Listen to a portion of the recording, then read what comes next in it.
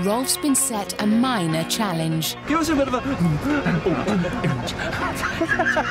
to paint in the style of Josef Herman. For him, it was all about the strength and the power of the working man. Rolf on Welsh Art, Wednesday 7:30, BBC One.